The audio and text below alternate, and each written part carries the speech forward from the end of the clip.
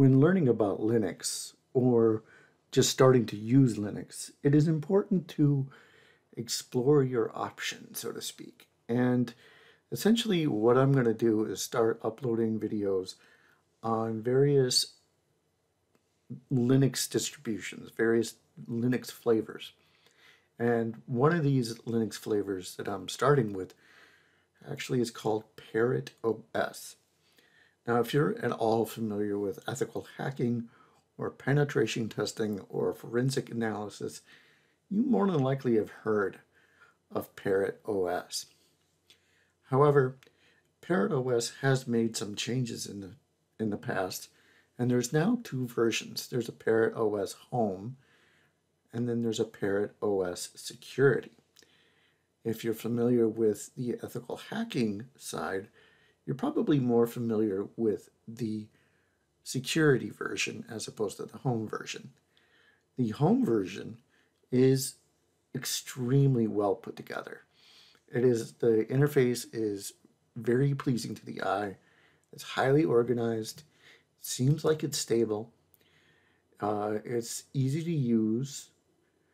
I, I mean, I'm completely blown away by it. I typically just use um, Kali Linux, and I'm extremely familiar with Kali Linux, but the learning curve on Parrot OS is practically none in regards to uh, learning how to use it and, and switching from Kali Linux to Parrot OS.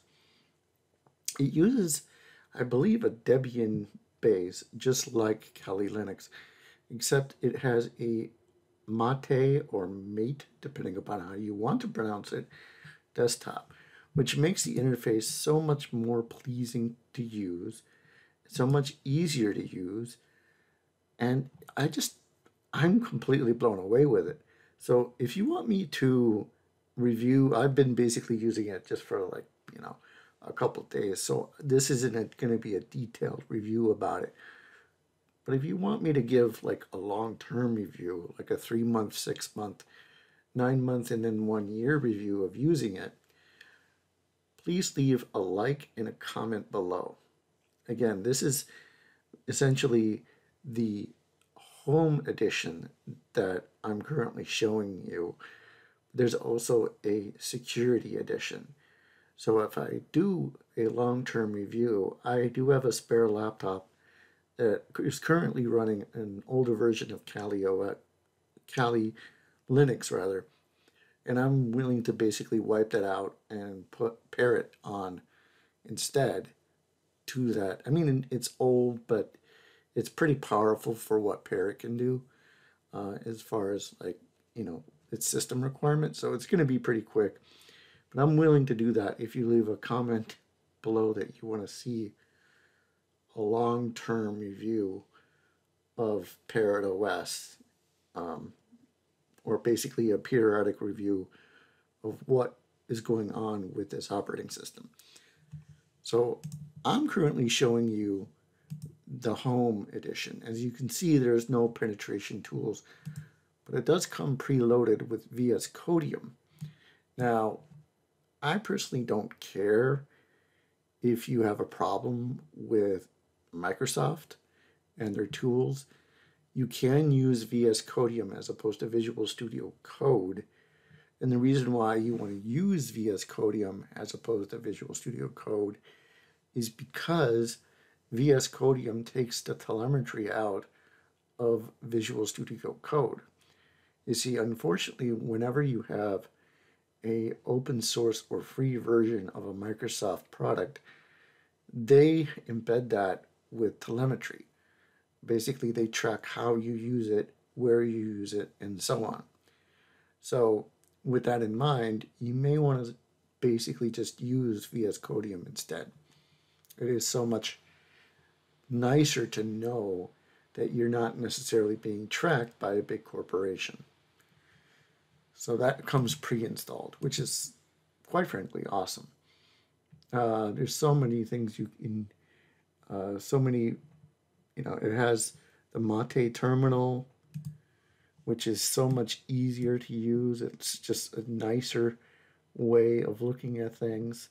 Um, I believe it's also bin bash It's automatically set up for using bash um, and so on and so forth. So with that in mind, I'm going to now pause this video and switch over to the uh, Parrot OS security and review that. It looks identical to this, except it has more, obviously, of the security tools installed.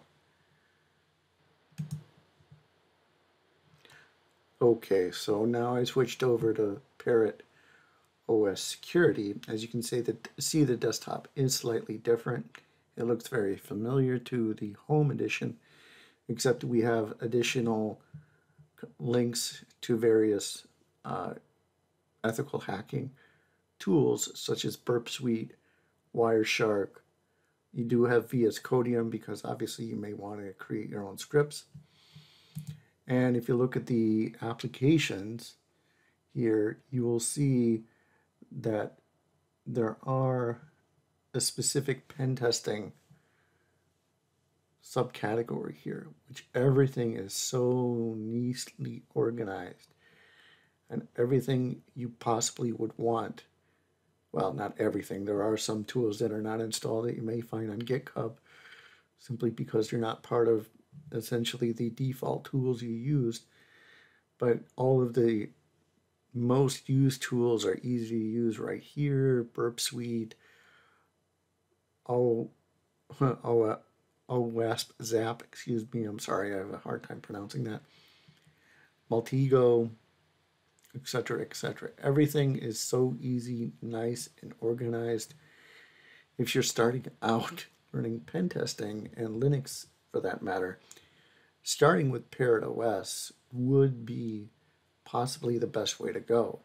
I think in many time in many cases, it actually may be better than Kali OS for the new user. It is so much more friendly to use. It looks the desktop looks better. And it's just I'm I, I can't say anything bad about it. I just haven't come across anything bad about it. If you know of specific problems that exist with the Parrot OS, please feel free to put a comment down below so I can investigate those because I haven't come across it. But then again, I've just started to use it in, in regards to what I've been, you know, basically doing CTFs with it, trying to test it out, and so on. So this is kind of a review of both Parrot OS Home and Parrot OS Security. Now the benefit of using Parrot OS Security is that you can essentially use it in a virtual machine. Now if you make the virtual machine large enough, then you can also use a virtual machine within this virtual machine to get even another layer of security. And that is supposedly how um, Snowden actually operates on the internet. He operates within a virtual machine that operates a virtual machine within itself. And then he uses a Tor browser as well through a VPN. He basically tries every way possible in order to hide his identity. Is he successful in doing that? Quite frankly, I don't know. I'm not the one who's tracking him. But he claims that it's the best way to do it. So maybe we should listen to him at least somewhat. So with that in mind, if you'd like to see a long-term review of Parrot OS security, please leave a like or a comment down below. Thank you.